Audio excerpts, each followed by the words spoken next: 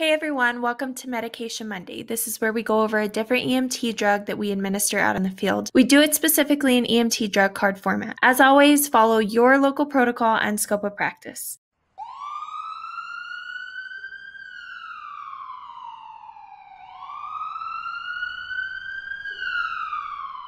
Today's medication is called diazepam. Diazepam is most commonly known out in the EMS field as Valium. Valium falls under the class of benzodiazepines. Your mechanism of action, just like our other uh, benzodiazepines that we've gone over, Versed and also Ativan, it interacts with the GABA receptors in the central nervous system, and this causes anticonvulsant, hypnotic, sedative, anxiolytic, amnesic, and muscle relaxant effects. Your indications are going to be seizures or seizure like activity, anxious patients, or patients that are agitated or violent or suffering from some sort of behavioral emergency. Also, sedation for certain procedures. Before we get into the dosages of Valium, I just want to stress to abide by your local protocol and scope of practice because dosages do vary. Your dose is going to be 2 to 10 milligrams IV or IO or intramuscular. If you're giving it IV or IO, it needs to be a very slow IV IO push. Your pediatric dose is going to be 0.05 to 0.1 milligrams per kilogram.